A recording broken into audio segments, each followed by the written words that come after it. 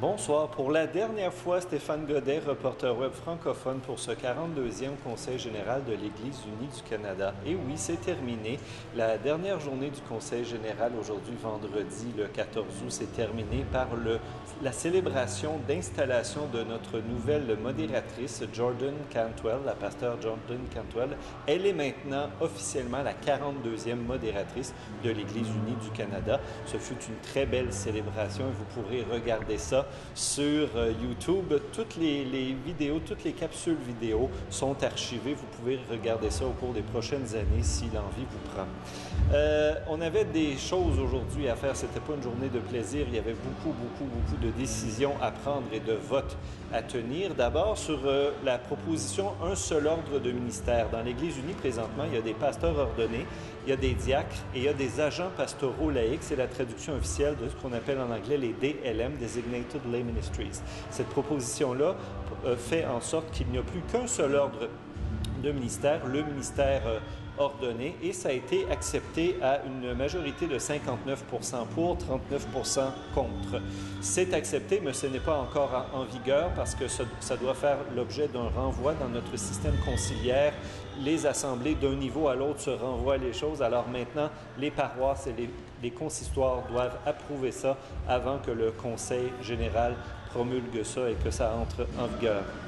Autre chose, je vous en ai parlé ce matin, le, changement de loi, euh, de passer de la loi sur l'Église unie du Canada à la loi, comme la plupart des églises et des organismes de charité, la loi euh, canadienne sur les organisations à but non lucratif, eh bien ça, ça a échoué. Le vote a été 56 pour, mais il fallait une majorité qualifiée de deux tiers pour que ça passe. Alors 56% c'est pas les deux tiers.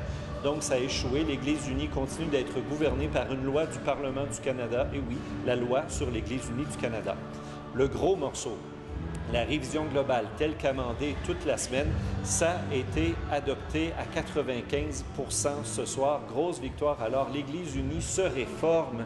L'Église unie va changer. On va passer d'une église à quatre, d'une église à quatre niveaux à une église à trois niveaux.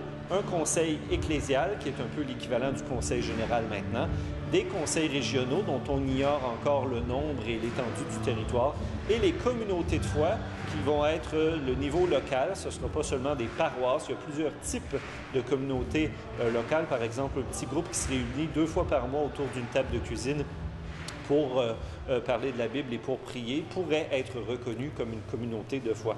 Alors tout ça a été adopté à une majorité de 95 euh, je fais des remerciements, puisque c'est notre dernière capsule, des remerciements à toutes les personnes qui nous ont aidés cette semaine dans le bureau des communications. Je remercie Catherine Rod, la productrice vidéo pour l'Église unie du Canada, notre caméraman Sean Buchanan, ainsi que toutes les personnes de la salle de presse de ce 42e Conseil général, la directrice Marie-Francis Denis, Rebecca Chevalier, qui était la rédactrice en chef des General Council News, le bulletin de nouvelles qui était publié chaque jour sous forme imprimé et sous forme électronique. Christopher Dumas, notre graphiste, Dan Benson, les auteurs, les journalistes, euh, Jeff Cook, Jim Kearney, Kevin Cox, à Toronto. Il n'était pas ici, mais il travaillait très fort à Toronto dans les réseaux sociaux. Aaron Gallegos. Toutes les personnes présentes ici de l'équipe des ministères en français. Euh, Christiane Guyenne, l'assistant. Euh, Christine Greenaway, la responsable des ministères en français. Lou Lamontagne, notre traductrice. Étienne Marcoux, un autre traducteur qui nous a aidés avec euh, la traduction des communiqués de presse. Ma collègue, mon alter ego, qui faisait la même chose que moi en anglais, la, la pasteur Elizabeth McDonald, ainsi que toutes les personnes de Corner Brook qui ont fait de ce Conseil général, de ce 42e Conseil général, un moment de rêve. On a été bien accueillis, l'hospitalité ternevienne, laissez-moi vous dire, c'est pas un stéréotype, c'est vrai, je l'ai vécu, on l'a tous vécu ici cette semaine. Un petit commentaire éditorial pour terminer, c'est tellement beau et émouvant de voir comme ça une Église démocratique, des pasteurs et des laïcs à égalité qui prennent une semaine de leur temps dans un été qui n'a pas été super, comme on le sait, l'été 2015, alors qu'ils pouvaient faire beau dehors. Ils se sont enfermés ici au Corner Brook Civic Arena pendant une semaine pour traiter de propositions, d'amendements, de renvois, de choses un peu arides au lieu de se dorer la couenne dehors au soleil et de profiter du beau temps et de ce qui reste de l'été. C'est magnifique. Il y avait des hommes, des femmes, des gens de toutes les couleurs, des gens de toutes les orientations sexuelles, des anglophones, des francophones, des allophones, des autochtones, des non-autochtones. Bref, c'était merveilleux, magnifique, émouvant, un très beau moment. J'espère qu'on a réussi à vous transmettre ça à travers la magie de la caméra et de l'Internet. J'espère bien. Et sinon, ben, continuez de regarder. Euh, ça va rester en ligne euh, dans les archives, nos capsules et les moments que vous avez pu manquer, les moments importants de ce 42e Conseil général.